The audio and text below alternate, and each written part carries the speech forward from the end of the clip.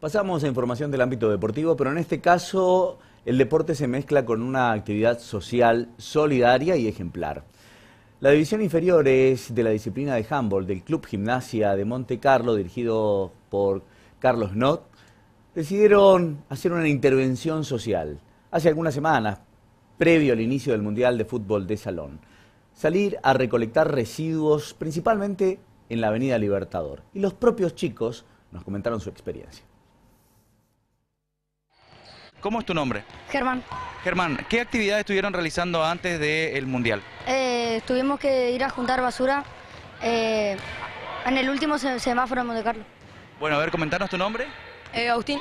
Agustín, eh, ¿eran solamente ustedes cuatro los que estaban juntando basuras o había más chicos que integraban también este grupo?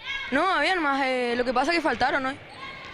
A ver, comentarnos tu nombre. Emanuel. Emanuel, eh, ¿qué tipo de basuras estaban juntando eh, días previos al Mundial? Em, bastantes cosas, eran más papeles que otras cosas. ¿Sí? ¿Desde qué parte hasta qué parte? Desde el Club Gimnasia de Monte Carlo hasta, em, hasta la policía. Bueno, ¿tu nombre? Joaquín. Joaquín, comentanos un poquito.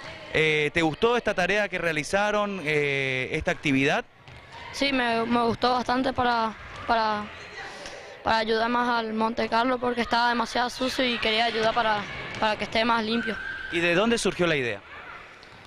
Y la idea surgió de, de acá de nuestro profesor para, para hacer un, un acto de, de colaboración a Monte Carlo, porque la verdad estaba demasiado sucio y quisimos limpiar un poco y ahí limpiamos.